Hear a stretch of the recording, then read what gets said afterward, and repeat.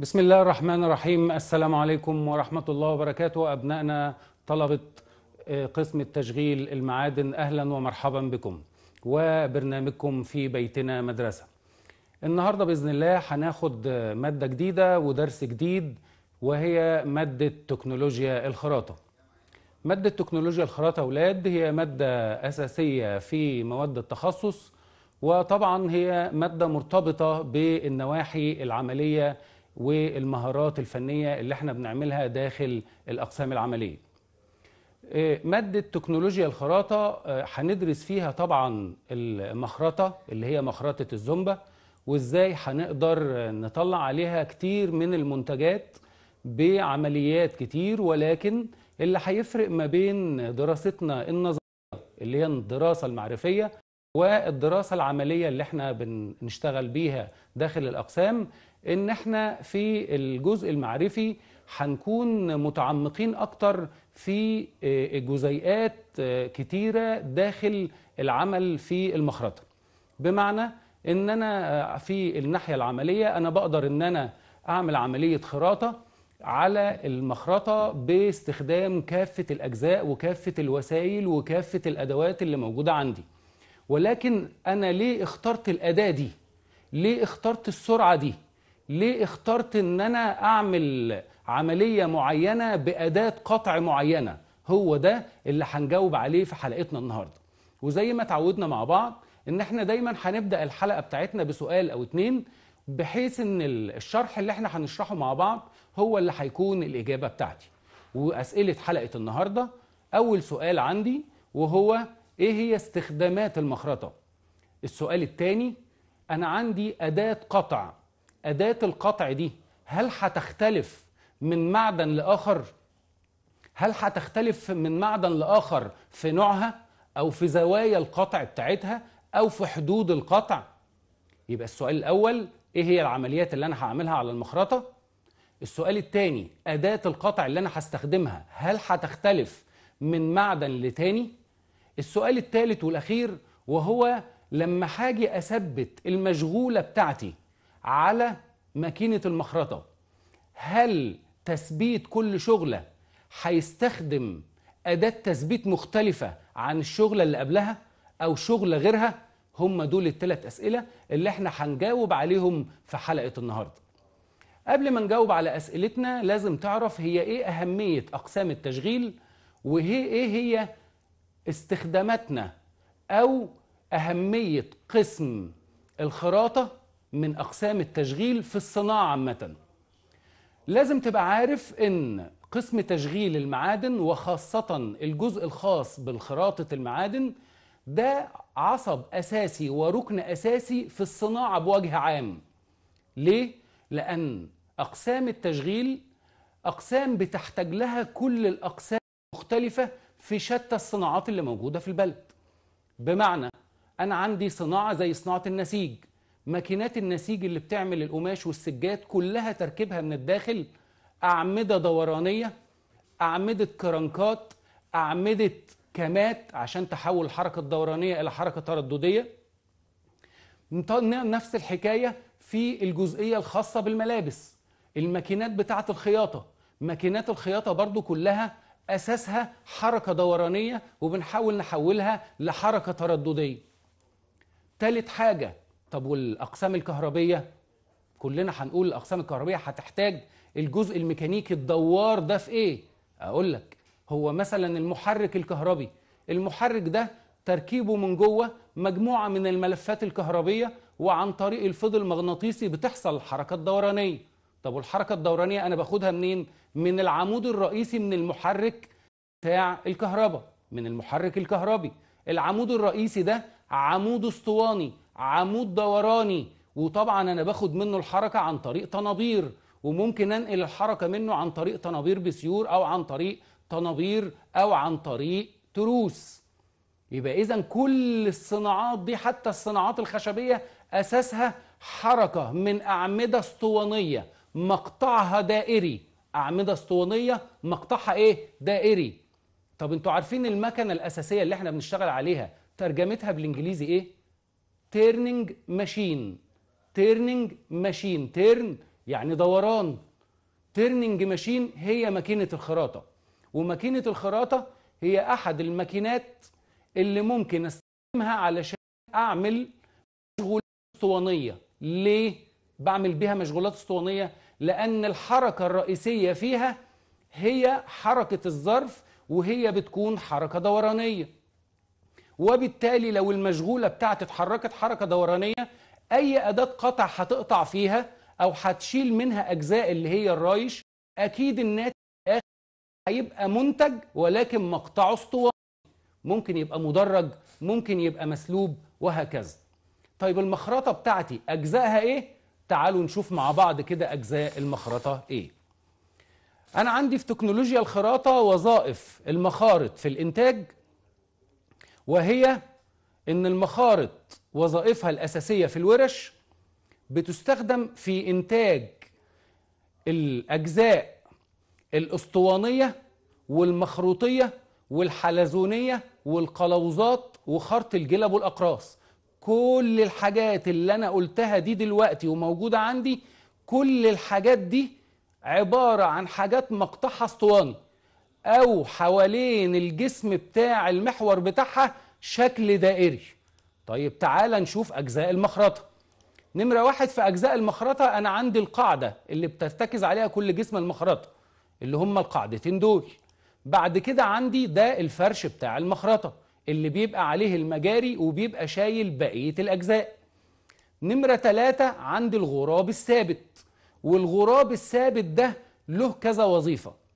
أول وظيفة فيه إن بيكون جواه صندوق التروس تروس السرعات اللي أنا هقدر آخد الحركة من الموتور وأخدها أحولها لعمود الظرف اللي موجود قدامي عشان آخد سرعات مختلفة. عشان إحنا بعد كده هنعرف إن السرعات دي بتأثر على العمل بتاع الشغلة أو هيبقى ليه اختيار لكل نوع معدن سرعة معينة. طيب طالما عندي غراب ثابت يبقى أكيد عندي غراب متحرك. والغراب المتحرك ده وظيفته إيه؟ وظيفته سند المشغولات الطويلة عن طريق الزومبا وإن أنا أقدر من خلاله أعمل نمرة اتنين يبقى نمرة واحد حسند المشغولات الطويلة. نمرة اتنين ممكن من خلاله أعمل عمليات التأبة على المخرطة. نمرة ثلاثة هستخدمه في عمل المسلوب أو الأجزاء المسلوبة وتكون طويلة. وتكون إيه؟ وتكون طويلة. يبقى أنا عندي القاعدة عندي الفرش عندي الغراب الثابت اللي جواه صندوق التروس وبينقل الحركة لعمود الظرف عندي بعد كده الغراب المتحرك نمرة ثلاثة عندي العربة والعربة دي اللي بتديني حركة التغذية اللي بتحرك بيها على فرش المخرطة يمينا ويسارا. نمرة ثلاثة عندي الرسمة العرضية وطبعا هي اسمها الراسمة العرضية لأن هي بتتحرك بعرض الفرش بتاع المخرطة. بعد كده عندي الراسمة الطولية والراسمة الطولية دي أنا بستخدمها لما بكون بعمل عمق قطع لما باجي أعمل الخراطه الوجهية ودي إحنا هنشوفها سوا. وبعد كده عندي البرج والبرج ده اللي هو حامل الأقلام. يبقى الأجزاء كده بسرعة عندي القاعدة اللي شايلة الماكينة كلها عندي بعد كده الفرش عندي الغراب الثابت عندي الغراب المتحرك عندي العربة عندي الرسمة العرضية عندي الرسمة الطولية عندي البرج. طيب والحاجات دي كلها كده أنا ممكن من خلال الأيادي اللي موجودة أعمل لها حركة يدوية. طب إمتى أقدر أعمل لها حركة أوتوماتيكية؟ أيوة لما يكون عندي الثلاث أعمدة دول. العمود اللي في الثلاث أعمدة دول بتبقى أعمدة إدارة. العمود اللي في النص عمود إدارة علشان يعكس لي حركة التشغيل يمين ويسار يعني يخليه في اتجاه عقارب الساعة أو عكس اتجاه عقارب الساعة. العمود اللي فوق ده بيكون عمود الالووز اللي أنا من خلاله باخد الحركة بتاعتي للعربة علشان أقدر أعمل الوزات واللوالب العمود اللي تحت ده بيكون علشان أعمل منه الحركة الأوتوماتيكية بتاعه تحريك العربة. طبعا ده كده شكل تخطيطي علشان لو حاولت ترسم الرسمة بإيدك تبقى انت بترسمها بنفس الترتيب وتراجع تراجع الفيديو بتاعنا وحلقاتنا علشان تجيب نفس الترتيب وترسمها بكل سهولة. إنما بعد كده لو جيت أجيب الشكل بتاعي ده الشكل بتاع المخرطة اللي أنا بقابلها داخل الأقسام العملية. طب تعالوا مع بعض كده نشوف أحد العمليات اللي ممكن تتعمل. يعني مثلا أنا عندي ده ظرف المخرطة ودي الشغلة الشغلة هنا دلوقتي بتتحرك حركة دورانية ده القلم بتاع الخراطة هنا القلم بيتحرك عمودي على المحور ده المحور الأفقي هو بتاع الشغلة والقلم بيتحرك عمودي يبقى دي خراطة وجهية اللي بنقول عليها خراطة القوره طيب القلم دلوقتي لو بدأ يتحرك معايا وكانت الحركة بتاعته دي هو في الأول اتحرك هنا حركة عمودية هنا بقى بيتحرك حركة موازية لمحور الشغلة. بقى بيتحرك حركة موازية لمحور الإيه؟ الشغلة. فبقى دي اسمها خراطة طولية. بقى اسمها خراطة إيه؟ طولية. يبقى العالم لما بيتحرك حركة عمودية على المحور بيعمل خراطة وجهية القلم لما بيتحرك حركة أفقية يعني موازي لمحور الشغلة بيكون بيعمل خراطة طولية. اللي إحنا بنقول عليها الخراطة العدلة. طيب تعالى كده نقول مع بعض هو أنا ممكن أعمل إيه؟ في بالنسبة لماكينة الخراطة. على ماكينة الخراطة أنا ممكن أعمل مجموعة من العمليات ومجموعة العمليات دي هيكون توصيفها حسب اتجاه قلم القطع. يعني ده المحور بتاع الشغلة. لو القلم بتاعي بيتحرك عمودي على المحور يبقى دي خراطة وجهية اللي بنقول عليها خراطة القوره ودي علشان أحدد البداية والنهاية بتاعه الشغلة. أحدد الاطوال لو القلم بتاعي اتحرك حركة أفقية يعني موازي لمحور الشغلة يبقى دي اسمها خراطة طولية اللي بنقول عليها الخراطة العدلة. طيب أنا لو كان القلم ده بيتحرك بميل بقى مايل على محور الشغلة يبقى أنا هنا الشغلة بتاعتي مش هتبقى أسطوانية ده الشغلة بتاعتي هتبقى مخروطية. طيب القلم بتاعي لو كان بيتحرك حركة أفقية بس كان له تغذية معينة. فبدأ يعمل لي شكل حلزوني شكل حلزوني على محيط الشغلة. يبقى ده بيعمل لي كده الوظات وطبعا القلم وهو بيتحرك قبل ما أجي أركبه لازم هبقى عارف إن القلم ده له حدود قطع معينة. تعال ناخد كده ونشوف أمثلة للمشغولات اللي إحنا ممكن نعملها على المخرطة وإيه هي حدود القطع اللي هتقابلنا. نشوف كده مع بعض. عمليات الخراطة نمرة واحد عندي الخراطة الطولية. القلم هنا بيتحرك حركة أفقية موازي لمحور الشغله يبقى هنا بيعمل لي خراطة طولية. طب يبقى حركة القلم موازية لمحور الشغلة وبيكون الناتج سطح إيه؟ أسطواني. طب تعال نشوف. لو القلم هنا اتحرك عندي حركة عمودية على محور الشغلة يبقى هنا هيعمل لي خراطة وجهية اللي إحنا بنسميها خراطة القوره يبقى هنا خراطة القوره بتكون حركة عمودية على محور الشغل والغرض منها تصفية الأطوال. طيب ناخد نوع تاني. عندي خراطة المجاري المحيطية اللي إحنا بنقول عليها خراطة الألوظات. والألوظات طبعا أنتوا عارفين أنواعها كتير. الوز مثلث الوز مربع الوز إنجليزي الوز فرنساوي على حسب طبعا الشكل بتاعي اللي أنا محتاجه. يبقى هنا القلم بتاعي بيتحرك حركة عمودية مع محور الشغله مع وجود تغذية وده لتخليق مجاري حول الشغل. طب نشوف حاجة كمان. عندي خراطة المسلوب أو المستدقات يعني عندي قطر كبير وقطر صغير. والقلم هنا علشان يجيب قطر كبير وقطر صغير لازم القلم هيتحرك بحركة ميل أو بزاوية ميل على محور الشغله يبقى ديت بتحرك القلم بشكل مائل على محور الشغلة وينتج عنها أشكال مخروطية. طيب قلم الخراطة؟ قلم الخراطة يعني أداة القطع اللي أنا بستخدمها في عملية القطع. وقلم الخراطة ده بثبته على حامل والحامل ده إحنا شفناه موجود اللي إحنا سميناه اللي اسمه البرج أو حامل الأقلام اللي موجود على الرسمة الطولية. القلم ده من أهم الأجزاء اللي موجودة فيه هي النصاب. النصاب ده الجزء اللي هيتمسك منه القلم والنصاب ده اللي أنا وأنا بربط القلم منه القلم بتاعي لازم هيكون بارز عن جسم البرج للخارج مسافة وبروز القلم ده طبعا بيأثر في قوى القطع المختلفة. طيب يبقى أول حاجة النصاب وهو جسم القلم الذي يثبت في حامل الإيه؟ القلم. طيب وبقيت أجزاء القلم المهمة. خلي بالك السطح اللي فوق ده اللي أنا بشاور عليه ده اسمه السطح الأمامي أو الأساسي السطح الأمامي.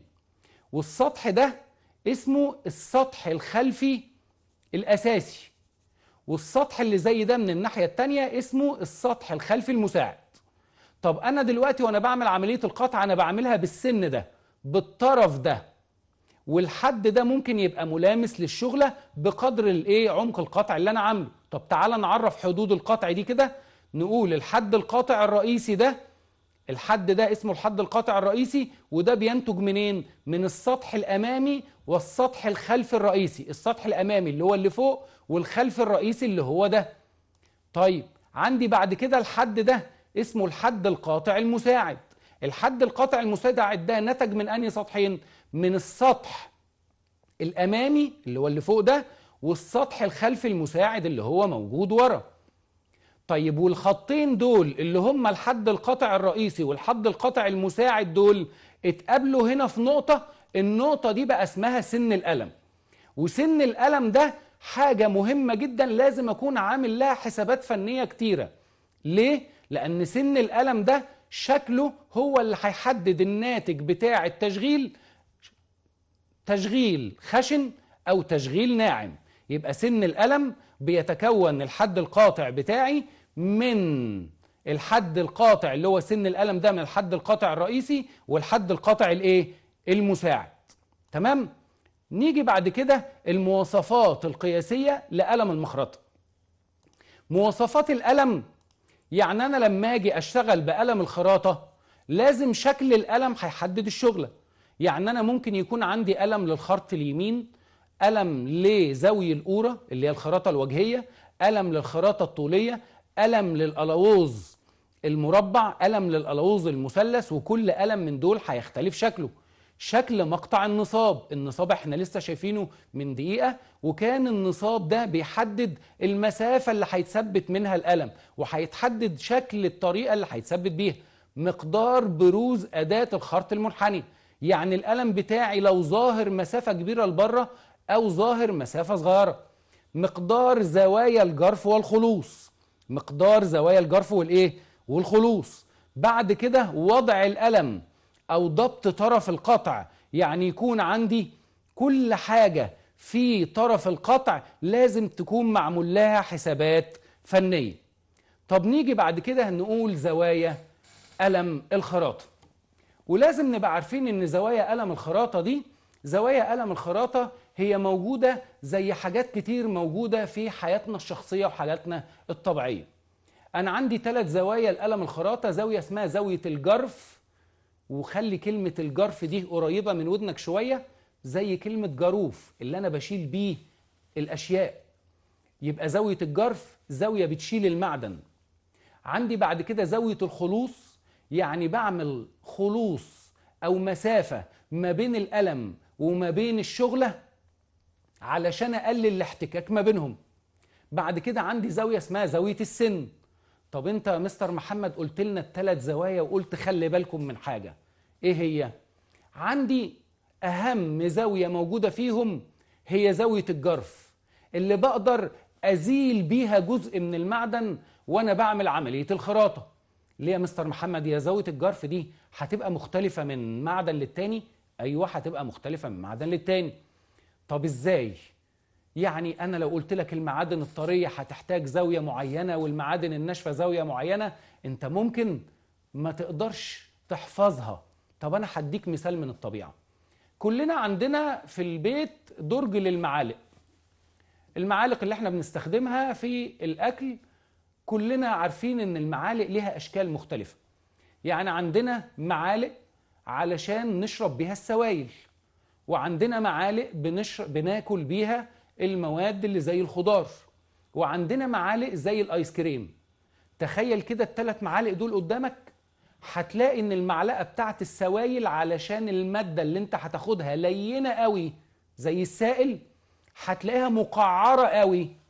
يعني زاوية الجرف بتاعتها إيه؟ كبيرة قوي يبقى المعادن اللينة هاخد لها زاوية جرف كبيرة إيه؟ قوي طيب والمعلقة اللي بناكل بيها الخضار؟ هتلاقيها مقعرة بس مش قوي مقعرة بس نص نص.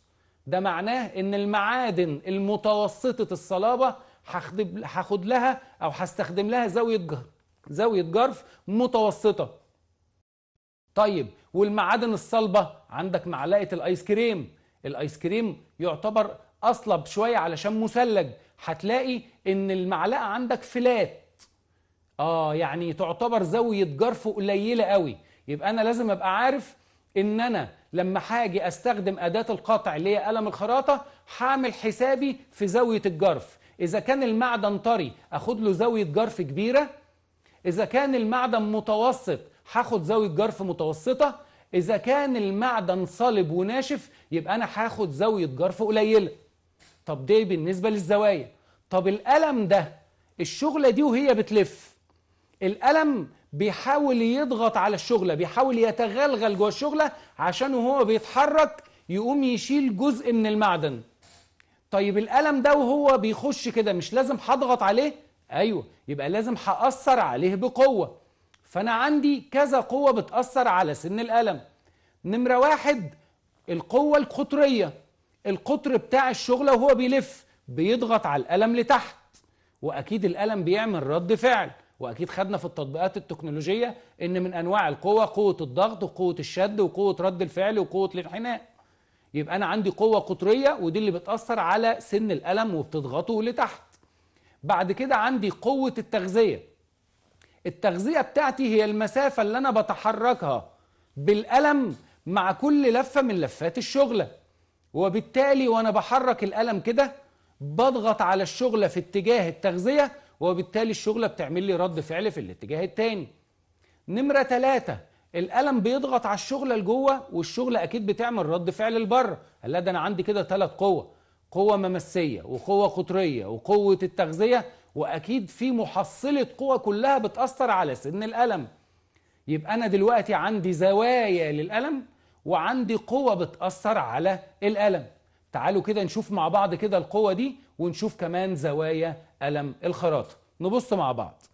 عندي هنا زوايا قلم الخراطة وزوايا قلم الخراطة دي أكيد لما حاجي أرسم هنا قلم والقلم بتاعي هيبقى ضاغط على الشغلة فإذا كانت دي الشغلة بتاعتي وهنا ده القلم بتاعي فأنا عندي كده ثلاث زوايا.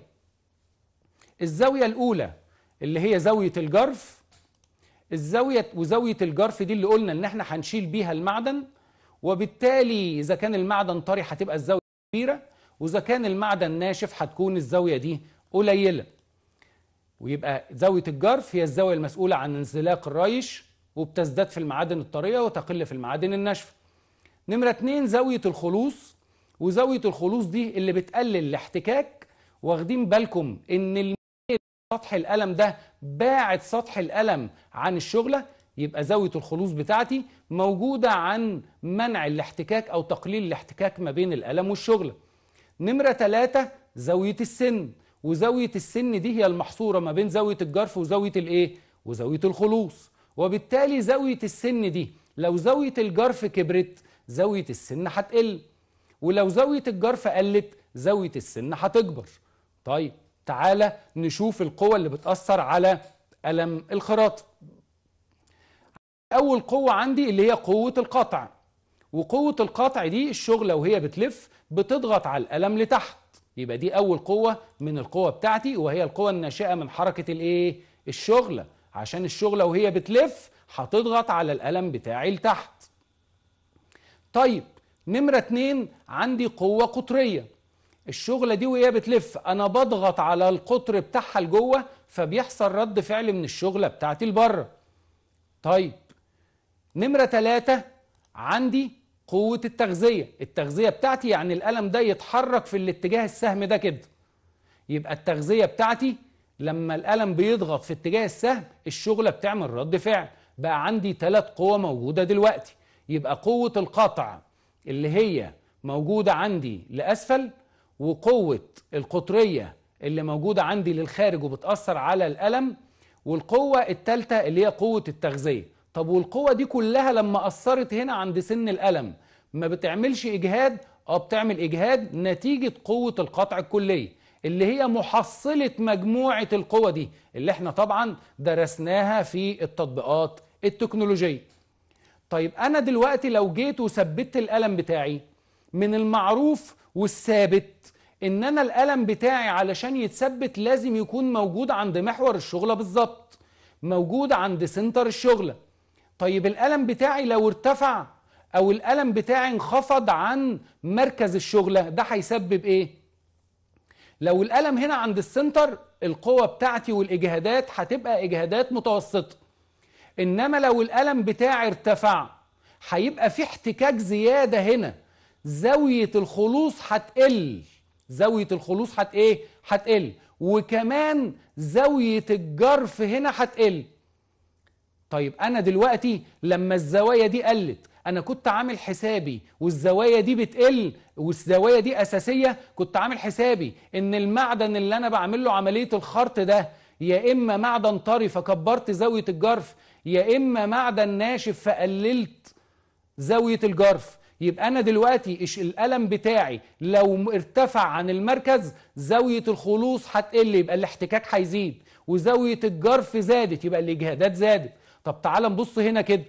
لو هنا القلم انخفض يبقى زاوية الخلوص عندي زادت وزاوية الجرف قلت وبالتالي يبقى كل الحاجات اللي أنا ظبطتها أو عملت لها عملية ضبط بالنسبة لزوايا القلم ممكن تسبب لي إجهادات في القلم إن القلم يفقد صلابته إن القلم يحصل له كسر إن القلم ترتفع درجة حرارته ويخلص مني وينتهي مني القلم اللي هو العمر الافتراضي للقلم طيب تعالى بعد كده العوامل اللي بتتوقف عليها عملية الخرط. العوامل اللي بتوقف عليها عملية الخرط لازم تبقى عارف إن أنا عملية الخرط موجودة عندي وعملية الخراطة ديت أنا عندي ثلاث اتجاهات بثلاث حاجات لازم تحصل في عملية الخرط. زي إيه؟ يعني أنا مثلا عندي الثلاث حاجات دول. نمرة واحد سرعة القطع. السرعة بتاعتي. بس مش الم... الم... المفروض من كلمة السرعة أو المعروف من كلمة السرعة اللي هي عدد اللفات. لا ده سرعة القطع هنا بعد وأنا بعمل عملية القطع كده. الشغلة بتلف وأنا بتحرك بالقلم فبيطلع رايش. أنا أقدر أقيس سرعة القطع بطول الرايش المقطوع ده في الدقيقة. يبقى سرعة القطع هي طول الرايش المقطوع في الإيه؟ في الدقيقة. نمرة اتنين القلم عشان يعمل خراطة طولية لازم أنا أخش بعمق قطع الأول وبعدين أعمل الخراطة زي الفيديو اللي إحنا شفناه في الأول. طيب دلوقتي نمرة واحد سرعة قطع نمرة اتنين عمق قطع نمرة تلاتة التغذية. والتغذية عندي هي المسافة اللي بيتحركها القلم بعد كل لفة من لفات الشغل. يبقوا دول ثلاث مفاهيم أساسية والثلاث مفاهيم الأساسية اللي هي سرعة القطع نمرة اتنين عمق القطع نمرة تلاتة التغذية. طيب أنا دلوقتي لما أجي أقول لك إيه العوامل اللي بتتوقف عليها سرعة القطع؟ عايزك تحفظ خمس حاجات مهمين. نمرة واحد سرعة القطع نمرة اتنين عمق القطع نمرة تلاتة التغذية نمرة أربعة نوع معدن أداة القطع نمرة خمسة نوع معدن الشغلة. سرعة القطع عمق القطع التغذية نوع معدن أداة القطع نوع معدن الشغلة. أنت عايزك تحفظهم ليه؟ عشان أنا لو قلت لك إيه هي العوامل اللي بتتوقف عليها سرعة القطع تقول لي دول. لو قلت لك إيه هي العوامل اللي بيتوقف عليها عمق القطع قول لي الباقيين. لو قلت لك إيه العوامل اللي بيتوقف عليها التغذية قول لي الباقيين. ليه يا مستر محمد؟ هم كلهم بيتوقفوا على بعض؟ آه طبعا كلهم بيتوقفوا على بعض. إزاي؟ هو أنا لو بقطع معدن طري. يبقى ممكن اشتغل بسرعة قطع كبيرة. أعمل تغذية كبيرة. أعمل عمق قطع كبير. طب ولو بعمل قطع في معدن ناشف يبقى هعمل تغذية قليلة. هعمل سرعة قطع قليلة. هعمل عمق قطع قليل. طب هو أنا لو شغال بسرعة كبيرة لو سرعتي كبيرة لازم أقلل في عمق القطع والتغذية. لو سرعتي قليلة يبقى ممكن أعلي سرعة أعلي عمق القطع وأكبر التغذية. يبقى إذا العوامل دي كلها متوقفة على بعض. أقولهم تاني اللي هي سرعة القطع عمق القطع التغذية نوع معدن الشغلة نوع معدن أداة القطع. طب يلا بينا نشوف كده العوامل اللي توقف عليها عملية الخط يلا بينا. بيقول العوامل التي يتوقف عليها عملية الخرط. العوامل اللي بتوقف عليها عملية الخرط هي نمرة واحد سرعة القطع. وسرعة القطع لما بنيجي نعرفها أو بنرمز لها بالرمز عين بنقول هي طول الرايش المقطوع في الدقيقة. وممكن أعمل حساب لسرعة القطع. إزاي؟ أقول إن العين بتساوي ط قاف نون على ألف وطبعا أنا بقسم هنا على ألف لأني بكون واخد قطر الشغلة بالمليمتر. والناتج بتاعي هنا بيكون بالمتر لكل دقيقة. يبقى سرعة القطع هي طول الرايش المقطوع في الدقيقة وسرعة القطع بتتقاس بطه قاف نون على ألف الطه اللي هي النسبة التقريبية ب 22 على 7 أو ب 3 و14 من 100 والقاف هي قطر الشغلة والنون هي عدد لفات الظرف أو عدد لفات الشغلة في الدقيقة. طب تعالى كده ناخد مثال لحساب سرعة القطع بيقول لي احسب سرعة القطع لمشغولة من الصلب. قطرها 40 ملم علما بأن ظرف المخرطة يدور بمعدل 80 لفة لكل دقيقة. زي ما تعودنا في كل المواد اللي بندرسها رياضيا ان أنا بعمل هامش وباخد المعطيات اللي موجودة عندي ومن المعطيات بحل المسألة. أعمل هامش. بيقول لي احسب سرعة القطع يعني عايز عين بتساوي إيه؟ لمشغولة من الصلب. قطرها 40 ملم يبقى أكتب هنا قاف وأقول بتساوي 40 ملم علما بأن ظرف المخرطة يدور بمعدل 80 لفة لكل دقيقة. يبقى نون بتساوي 80 لفة لكل إيه؟ لكل دقيقة. نحط القانون بتاعنا تبقى عين بتساوي. ط قاف نون على ألف. وطبعا بكرر تاني إن الألف دي سببها إن القاف بتكون بالمليمتر. فأنا بقسم على ألف عشان أحولها للمتر. يبقى أحط يساوي تحت يساوي وأقول إن الطه بتساوي 3 و14 من 100 أو 22 على 7 في القاف بتاعتي هو مدهاني في رأس السؤال ب 40 في النون عندي هو مدهاني ب 80 على 1000 يبقى السرعة بتاعتي طلعت ب 10 متر لكل دقيقة. يبقى سرعة القطع على المخرطة دي اللي بتلف 80 لفة في الدقيقة هي 10 متر في الايه؟ في الدقيقة يعني طول الريش المقطوع في الدقيقة هو 10 متر في الدقيقة.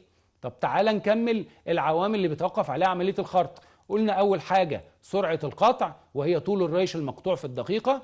نمرة اتنين التغذية وكلمة تغذية معناها إن الألم دي اتجاه التغذية. معناها إن الألم بيتحرك حركة موازية لمحور الشغلة. يبقى التغذية هي الحركة اللي بيتحركها الألم مع كل لفة من لفات الشغلة. يبقى التغذية هي المسافة التي يتحركها القلم القلم لكل لفة من لفات الإيه؟ الشغل. طيب ثالث حاجة من الحاجات اللي إحنا بنقول بتأثر أو العوامل اللي إحنا بناخدها عندنا تأثير على عملية الخرط هي عمق القطع. عمق القطع يعني المسافة اللي دخلها القلم داخل الشغل. المسافة دي اللي هي تعتبر سمك الريش أو تعتبر المسافة اللي بيتغلغلها القلم داخل الشغل. يبقى عمق القطع هو الاتجاه العمودي على محور الشغلة ويبقى هو أو هي المسافة التي يتغلغلها القلم داخل معدن الشغلة ودي بتطلع لي سمك الرايش اللي خارج عندي. نيجي بعد كده نقول العوامل اللي توقف عليها سرعة القطع. من شوية قلت لك خمس حاجات ممكن تزود عليهم إذا كان في سائل تبريد أو حالة الماكينة يبقى هي دي العوامل. يبقى أنا هشيل سرعة القطع وأقول الباقيين. يبقى أنا العوامل اللي بتوقف عليها سرعة القطع. نمرة واحد نوع معدن القطع. نوع المعدن اللي أنا بقطعه يعني نوع معدن الألم. نمرة ثلاثة مقدار التغذية. لأن لو المعدن طري يبقى أنا هستخدم سرعة قطع كبيرة. لو المعدن ناشف هستخدم سرعة قطع قليلة. لو معدن الألم صلب جدا وناشف جدا يبقى أنا هستخدم سرعة قطع كبيرة. إنما لو معدن الألم مش صلابته عالية وهيتأثر بالحرارة والإجهادات والاحتكاك هستخدم سرعة قليلة. طب ومقدار التغذية؟ لو أنا عامل تغذية كبيرة مقدار تغذية كبيرة هستخدم سرعة قطع قليلة. لو هستخدم تغذية قليلة ممكن تبقى سرعة القطع كبيرة. يبقى الحاجات ديت أثرت على سرعة القطع ولا لأ؟ أثرت فعلا يا مستر محمد على سرعة القطع. نيجي بعد كده نقول العمر الافتراضي للقلم القلم الخراطة اللي أنا بستخدمه ده له عمر افتراضي. لازم أشتغل بيه عدد ساعات معينة لأنه بيتعرض لإجهادات وارتفاع في درجة الحرارة واحتكاك. يبقى أنا لو القلم ده قديم وبقاله فترة شغال معايا لازم القلم ده أقلل السرعة اللي موجودة عليه. نمرة خمسة مقدار عمق القطع وسائل التبريد. لو أنا عمق القطع بتاعي كبير يبقى سرعة القطع اللي أنا هستخدمها قليلة. لو عمق القطع بتاعي قليل يبقى سرعة القطع ممكن تكون كبيرة. سائل التبريد بيقلل الاحتكاك. يعني أنا لو عندي سائل تبريد شغال بيه بيعمل عملية تبريد للماكينة للشغلة يبقى أنا ممكن أشتغل بسرعة قطع عالية. لو ما عنديش سائل تبريد هشتغل بسرعة قطع قليلة. طيب بعد كده العوامل اللي بتؤثر في تكوين الرايش العوامل اللي بتؤثر في تكوين الرايش عندي طبعا نمرة واحد نوع المعدن. يعني المعدن لو طري الرايش هيبقى له شكل معين. المعدن لو ناشف هيبقى له شكل تاني. يعني يبقى المعدن شغل الرايش بتاعي مستمر أو يبقى متقطع أو يبقى متفتت. نمرة اتنين شكل الحد القاطع. الحد القاطع عندي حد قاطع قصير في المسافة ما بين النصاب وما بين سن القطع. أو السن بتاع الحد القاطع هيطلع عندي سمك رايش كبير. لو المسافة كبيرة بتاعة الحد القاطع هيطلع رايش مساحة مقطعه كبيرة. نمرة ثلاثة مقدار سرعة القطع.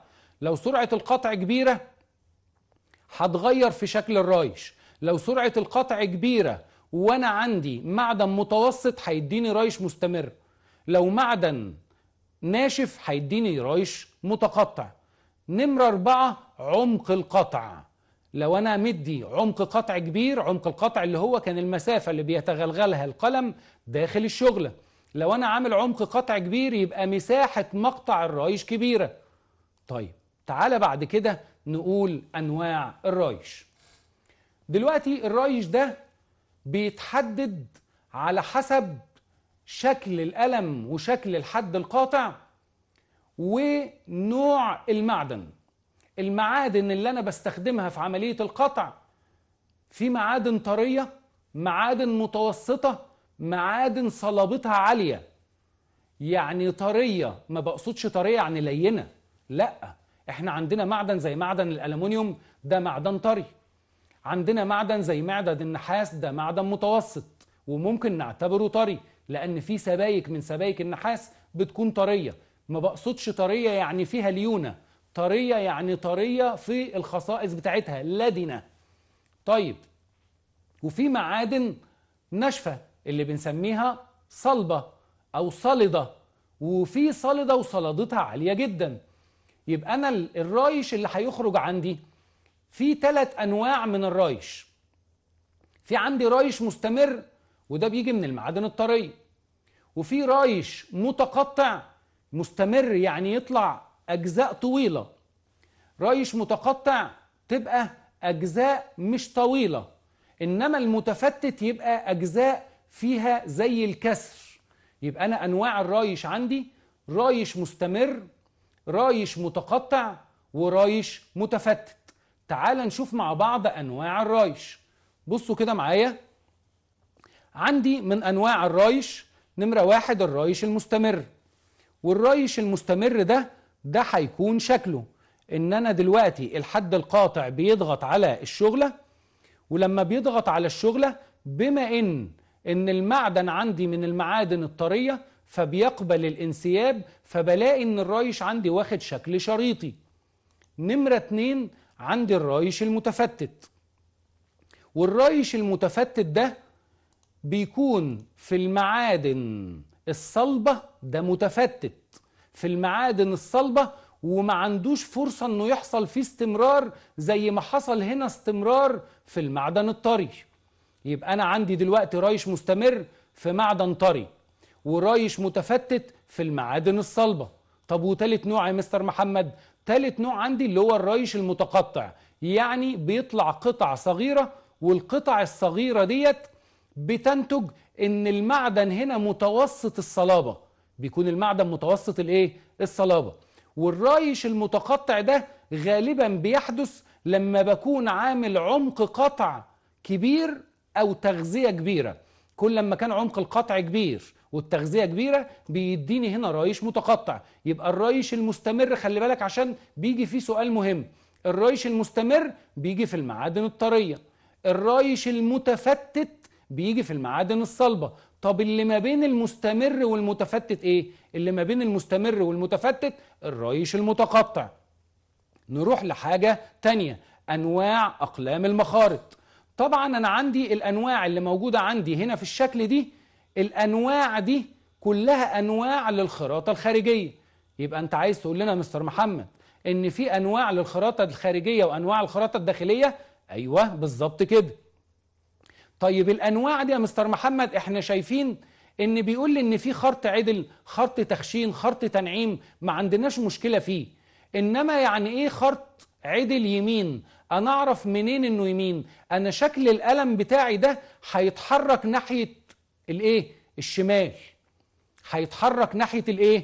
الشمال. أعرف منين إنه يمين؟ أقول لك هنعرف منين. أنا دلوقتي عندي قلم الخراطة موجود عندي بالشكل الأفقي ده. قلم الخراطة دلوقتي موجود عندي بشكل أفقي اللي أنا هبدأ أضغط بيه على الشغلة؟ طب ولما هاجي أضغط بيه على الشغلة أنا هحط كف إيدي على القلم أنا دلوقتي القلم هضغط بيه على الشغلة عشان أعمل عملية عمق القطع وهيبدأ يتحرك عندي حركة التغذية لو دي الشغلة وده القلم والقلم هيبدأ يتحرك كده. فأنا بحط كف إيدي على القلم كف إيدي دلوقتي على القلم دلوقتي اتجاه الإبهام في إيدي متجه في الاتجاه ده يعني ده اتجاه حركة التغذية. يبقى دي الإيد الإيه؟ اليمنى. يبقى ده اسمه قلم يمين. طب لو القلم بتاعي كان هيتحرك كده فأنا هحط كف إيدي على القلم وأشوف الإبهام متجه لفين؟ الإبهام متجه أهو ناحية الخرط. هو صحيح ده اتجاه الخرط بتاعي إنما كف إيدي. الإيد دي اسمها إيد إيه؟ يسرى يبقى ده قلم شمال. يبقى أنا الإبهام بيشير إلى اتجاه عملية التغذية وأشوف كف إيدي. إيدي دي مين؟ اليمين. يبقى ده قلم خرط يمين. أشوف الإيد التانية. لو أنا هتحرك دلوقتي في اتجاه تاني يبقى أنا الإبهام بيشير إلى اتجاه حركة التغذية. أشوف إيدي دي أنهي إيد فيهم؟ يبقى إيد دي الإيد اليسرى. يبقى ده قلم خرط إيه؟ قلم خرط شمال. تعالوا نكمل كده في موضوع الأقلام. يبقى أنا عندي أقلام المخارط عندي أقلام. ممكن تكون اتجاهها يمين أو اتجاهها شمال. ممكن تكون إقلام للخرط العدل تنعيم أو تخشين. هنا بص كده شكل قلم التنعيم إن في مسافة تلامس كبيرة مع الشغلة وده علشان ما يسيبش أي خطوط للتغذية. هنا دي إقلام ده عندي قلم بيعمل ألوظات ده قلم بيعمل حلية داخلية أو بيعملها خارجية. وده قلم بيسموه قلم القطع علشان أعمل عملية القطع على الشغل. طب الخواص الأساسية الواجبة الواجب مراعاتها في مواد صنع أقلام المخارط. المادة اللي هصنع منها القلم لازم يتوافر فيها إيه؟ لازم يتوافر فيها مجموعة من الشروط. الشروط دي هي نمرة واحد يكون ذو صلادة عالية يعني صلابته أو صلادته تكون أعلى من صلادة الشغلة اللي أنا بقطعها. نمرة اتنين متانة عالية يكون ما بيفقدش خواصه اللي هي مقاومة الإجهادات بسهولة. نمرة ثلاثة يقاوم التآكل ودرجات الحرارة العالية.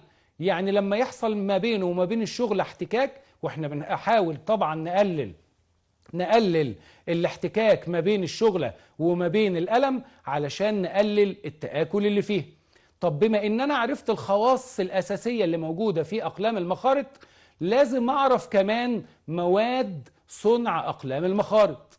نمرة واحد الصلب الكربوني.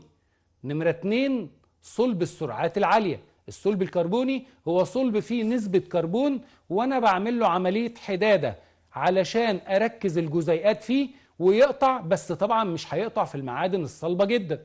صلب السرعات العالية هو صلب كربوني مضاف إليه. بعض المعادن والسبائك علشان أقدر أعمل عملية الخرط بسرعة عالية علشان يقاوم الاحتكاك اللي موجود ويقاوم درجات الحرارة. نمرة ثلاثة اللقم الكربيدية. اللقم الكربيدية نوع برضو من أدوات أو معادن أدوات القطع.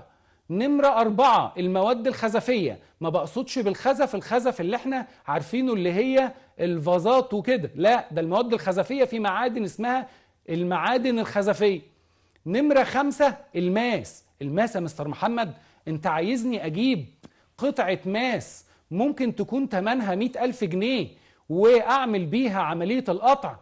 آه ممكن أجيب الماس وأقطع بيه بس طبعا في مشغولات معينة على ماكينات معينة. أنا عندي ماكينات خراطة وماكينات الخراطة دي في ماكينات عادية وفي ماكينات بتشتغل بالبرمجة. وبالتالي لما هتشتغل بالبرمجة هبقى جايب مكنة تكلفتها عالية يبقى هجيب الماس لأن الماس هو 100% كربون وهو أصلب أنواع المعادن لا يحدث له تآكل على الإطلاق. طب يا مستر محمد إحنا خدنا كده أقلام المخارط. طب هتشرح لنا إيه بعد كده؟ هقول لك إن أنا عندي كده أقلام المخارط اللي أنا بعمل بيها عملية القطع.